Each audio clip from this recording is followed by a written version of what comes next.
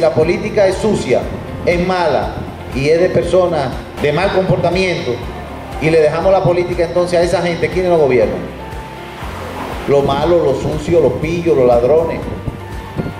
Si queremos que la cosa cambie, tenemos que participar. Eso no quiere decir que usted salga con una bandera para la esquina, pero usted puede dar una opinión, usted tiene que ir a votar. Eso es lo que yo he venido hoy, a quitarle un ratito, a agradecerle que me reciban, pero principalmente a pedirle que participen, que reciban a todo el que quiera venir aquí, pero que lo investiguen también y que saquen sus conclusiones.